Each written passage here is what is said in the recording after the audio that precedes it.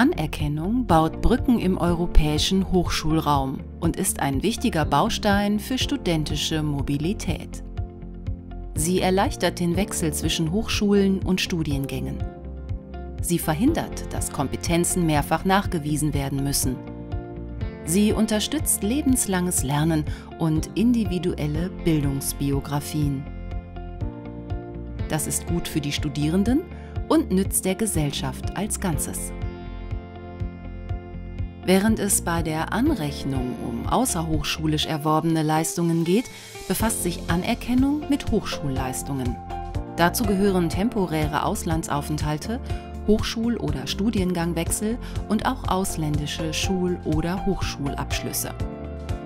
Die rechtliche Grundlage für Anerkennungen bilden die Lissabon-Konvention, die 2007 in nationales Recht umgesetzt wurde, und die Landeshochschulgesetze. Daneben gibt es noch weitere Rechtsgrundlagen wie das Verwaltungsrecht und Akkreditierungsvorgaben. Einige allgemeine Verwaltungsgrundsätze gelten auch hier.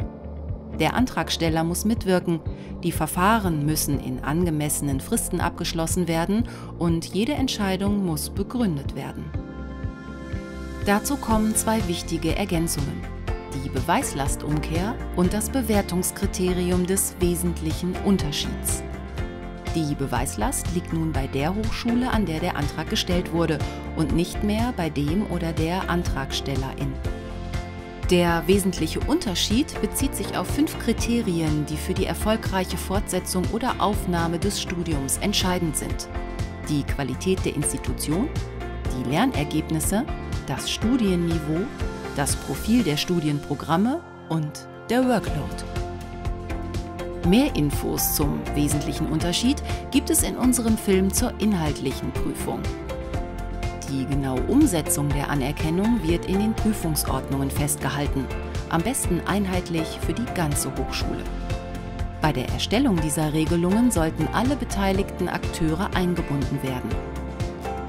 Anerkennungen erleichtern das Umsteigen im Bildungssystem und die Auslandsmobilität.